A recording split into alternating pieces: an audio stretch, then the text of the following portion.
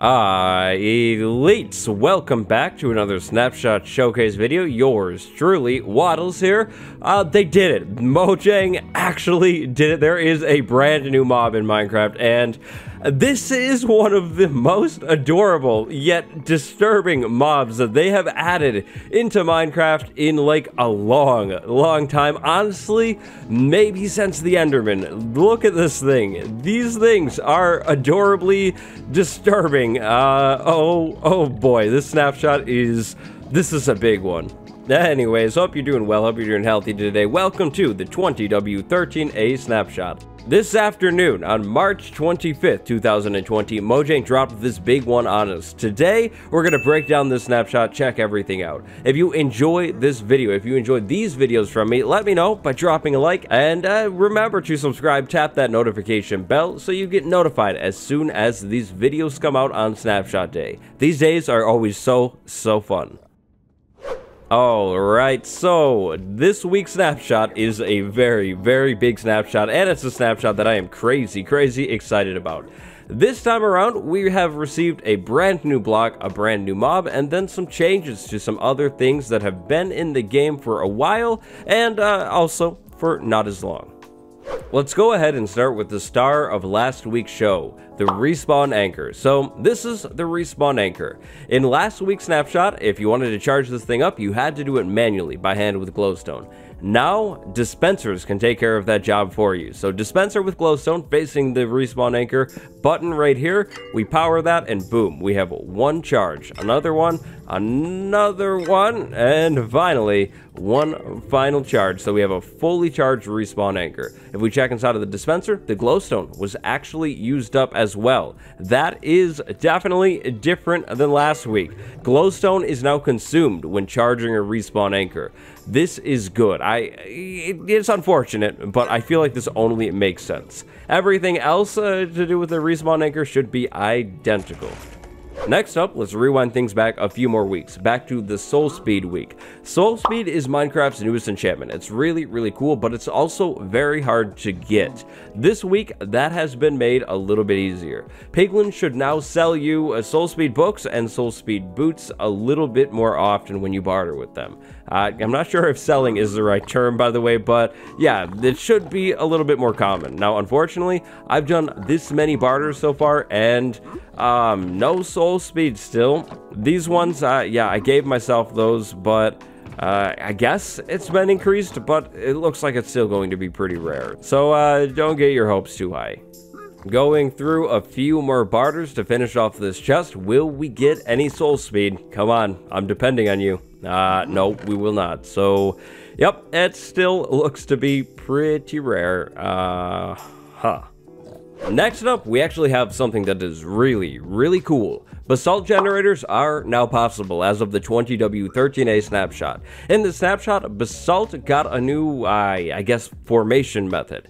To form Basalt, you're going to need a handful of things. You'll need some blue ice, so very, very expensive. You'll need a lava bucket, and you'll need soul soil. Now, soul soil should be the easiest thing to get out of all those, maybe other than the lava bucket. If you're looking for soul soil, head over to the nearest Soul Sand Valley biome and look at the ground. The stuff is literally everywhere over there. Now, to form basalt, start by placing a lava bucket down. Now, anywhere on top of that soul soil, next to or in the flowing lava, place a block of blue ice and boom, basalt has been formed.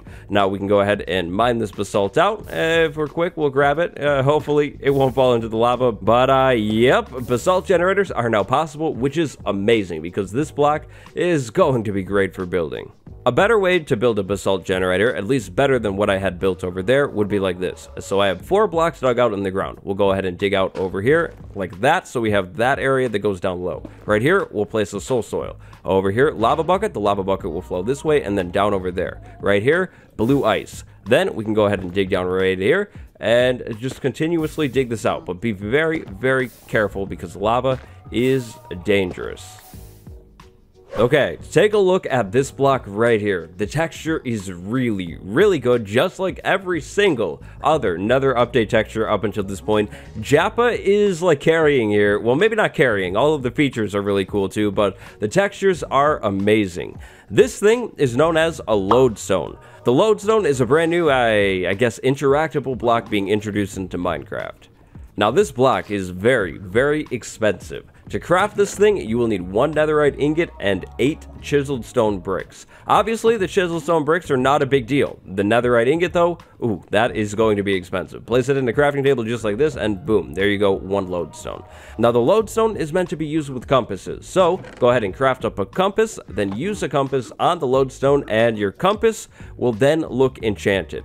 Now be careful. Currently, if you use a stack of compasses on the lodestone, that stack is consumed. I'm sure that's just a bug right now. Shouldn't necessarily work that way, but yeah, that is how it works. Now take a look at these compasses. They are pointing right over to that lodestone. That is exactly what the lodestone does. If we move over here, they're now pointing that way over to the lodestone. So now, basically, you can have a compass that points to anything that you need it to in your world. Now let's say you have more than one lodestone in your world. Well, that definitely wouldn't be a big deal. You can have more than one lodestone and you can have different compasses pointing at each lodestone or you can just reuse the same compass on a brand new lodestone to, I guess, reconfigure the compass. The lodestone is mined with the pickaxe. If you mine it uh, and you have a compass synced up to it, it is going to go crazy. Um, pretty funny looking. When you place it back down, you'll have to reuse your compass on the lodestone to resync things up. Now this one is actually pretty big. I think it is going to be most useful on servers. Imagine having a lodestone at your friend's base. You can walk over there, use a compass on that lodestone, then name the compass whatever your friend's name is, and then go back to your base. Whenever you need to go over to your base, you can easily just use that compass, and it will lead you right over to your friend's base. If you're a fan of building outposts in your world, but you don't like maps, the lodestone is also going to be pretty useful for you. If your compasses are synced up to a lodestone that is in a different dimension than you, they're going to go crazy. You can use the lodestone in the overworld, which is really, really cool too. This block is great. I love this. This is awesome. Definitely a great way to keep track of things in the nether, considering the fact that maps don't really work in the nether. Oh man, it leads to the moment you have all been waiting for, and I've been waiting for this too. Take a look at the brand new Strider mob. This thing looks straight out of like one of those scary stories to tell in the dark book, right? I mean, I don't know, at least that's the first vibe that I got when I saw this thing.